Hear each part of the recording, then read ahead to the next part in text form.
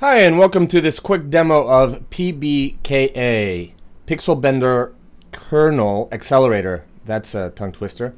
So, Pixel Bender, as you know, is a very cool graphics processing language that Adobe came out with in CS4, but unfortunately discontinued in CS6. What this plugin allows you to do is two things. One is allows you to run Pixel, Burner, Pixel Bender kernel. I'm gonna get this right, I promise. Um, plugins, uh, it accelerates them because it, it processes them on the GPU of your video card.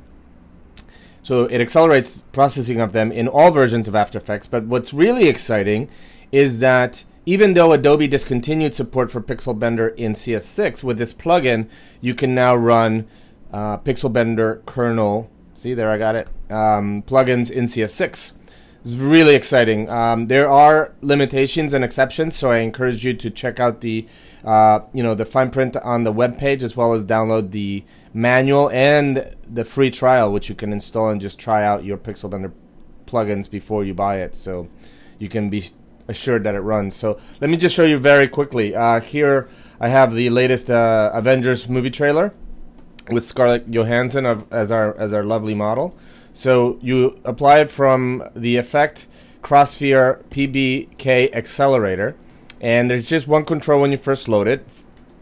You click this pull down menu and you just hit load, and you just choose your kernel file. So just to be clear, kernel files are the ones that have the .pbk extension. If your Pixel Bender plugin has a .pbg for PB graph, those will not be compatible. So uh, just to be, make that clear. So let's just start with a simple one. Like uh, this is a vignetting one.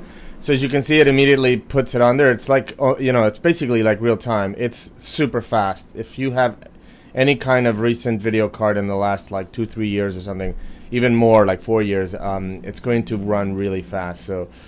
Uh, so there we go. You have it loads all the parameters from the Pixel Bender plugin. So here we are again in uh, CS6 and we're running a Pixel Bender kernel plugin, which is really, really, really dope. Um, so let's uh, let's see. Let's load another one. Um, here we have, uh, for example, this one generates color bars. Very simple, different kinds of color bars.